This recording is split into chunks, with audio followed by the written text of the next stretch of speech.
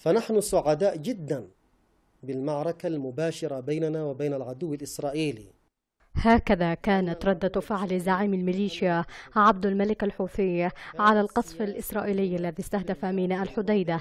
وبلغت به الجرأة والوقاحة بأن يتحدث باسم اليمنيين الذين يذيقهم الويل وينهب رواتبهم وأموالهم بأنهم سعداء بالقصف. بينما كان مشرفوه يفتعلون أزمة وقود وينعشون السوق السوداء في صنعاء والحديدة. لا يمكن لأي إنسان يتمتع بقدرات ذهنية طبيعية أن يعبر عن تعرض بلده للقصف من قبل الاحتلال الصهيوني أقذر أعداء الإنسانية بقوله إن ذلك يجعله سعيدا إلا إذا كان مجرما ويراها فرصة للتغطية على جرائمه كما لا يمكن لفلسطيني أن يقول إنه سعيد لأن إسرائيل دمرت غزة فالغضب والحزن والاستياء هو ما يجب أن يكون إزاء هذه المواقف. لم يكذب الحوثي بشأن سعادته من الضربة الإسرائيلية على ميناء الحديدة فالحوثي ينظر لهذه الضربة باعتبارها ورقة جديدة للاستغلال السياسي والإعلامي وفرصة مناسبة لتبرير جرائمه ضد اليمنيين ولتخوين كل الرافضين لجرائمه بوضعهم في كفه العدوان الإسرائيلي.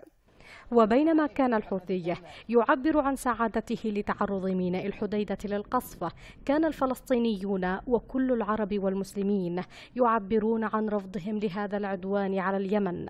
إلا أن الحوثي كعادته وصف المخالفين لموقفه بأنهم يخدمون إسرائيل والحقيقة أن من يخدم الاحتلال هو من يبدي سعادته تجاه أي جريمة صهيونية سواء كانت في فلسطين.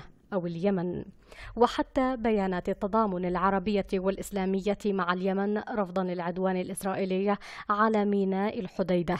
ذهب الحوثي لفرزها وتصنيفها طائفيا وتركز مديحه لبيان صادر عن دولة تستضيف رئيس وزراء الاحتلال بنيامين نتنياهو وتعتبر إحدى حلقات الوصل بين إسرائيل وإيران. وكعادة الحوثي في استغلال القضية الفلسطينية العادلة ودماء الفلسطينيين الطاهرة.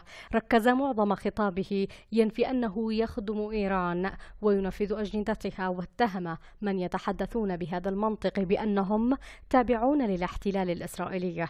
متجاهلا أنه وحزب الله أول الأذرع التي تستخدمها إيران لتهديد إسرائيل. كما أن الحوثي نفسه من يؤكد هذا الأمر عندما تطلب منه إيران الانتقام لقادتها لكن متاجرته بالقضية الفلسطينية جعلته يقع في شر اتهاماته.